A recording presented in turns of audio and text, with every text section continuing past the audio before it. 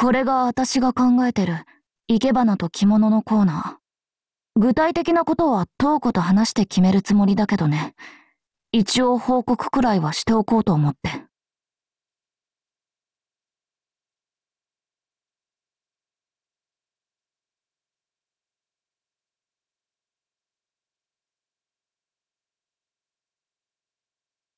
わかってる。おやすみ、父さん。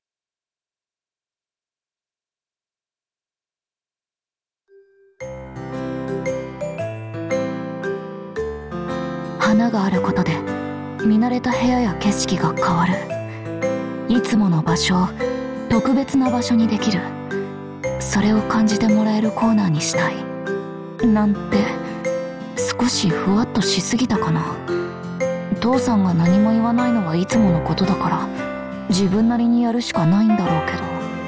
問題はそれをどうやって表現するか。か。さっきから何ブツブツ言ってるんですか？あごめん。ちょっと考え事。って何これ？すごい量の着物。何って着物選びに決まってるじゃないですか。今日はそのために来てもらったんだし。ランさんがぼーっとしてる間に並べてみましたけどどれもこれも超いい感じですよ。それにしたって出しすぎなんじゃ。全然ですよこれでもかなり厳選したんで。つうか私たちまともに話すの初めてじゃないですか？花見の時もほとんど話せなかったし。別に初めてじゃないよ。小さい頃に1回か2回会ったことあるし。小さい時に？あああの子あれランさんだったんですね。え思い出したの？いや懐かしいな食べたいって言ってた飴私が全部食べちゃって泣いたりしてましたよね。それ私じゃない。え？あの子結構ランさんっぽかった気がするんだけどな。まあいっか。今は着物選びに集中集中。この前も思ったけどなんかやけに気合入ってない？当たり前ですよ。何せ今回はおばあ様から任せるって言われちゃってますからねそんなに珍しいことなの？珍しいどころか人生初ですよ。おばあ様イベントごとは絶対やらせてくれなかったですし。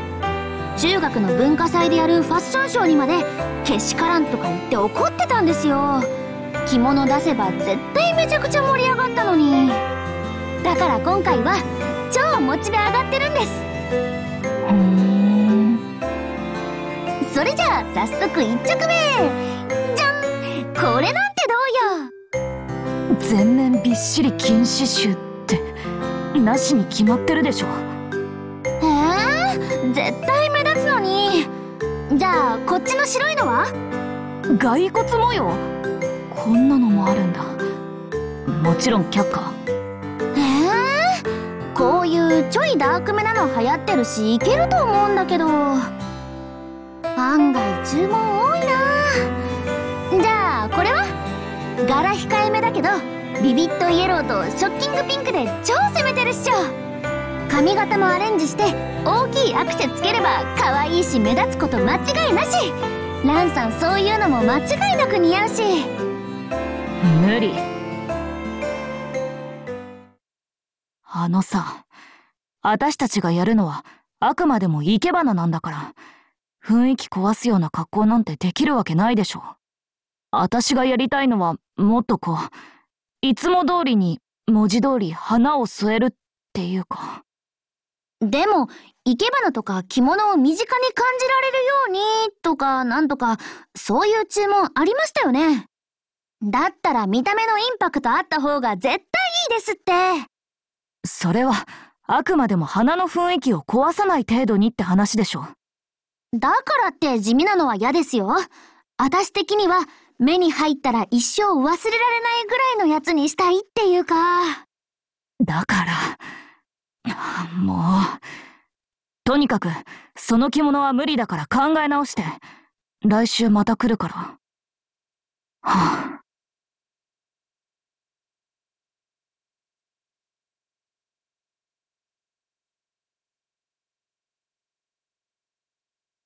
ちょっと感じ悪かったかな。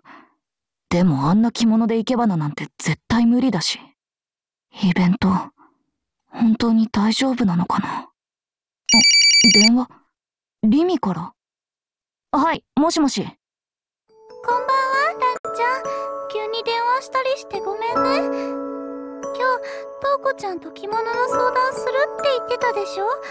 前に話した時、不安そうだったから気になっちゃって。大丈夫だった？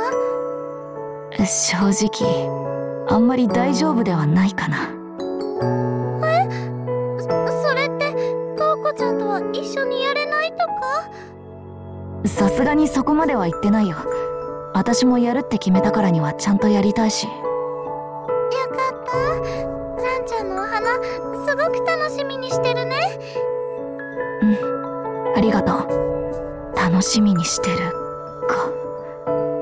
そう言ってくれる人のためにも、いいイベントにしないと。ランちゃん、どうしたの？ううん、なんでもない。ありがとう、リミ。明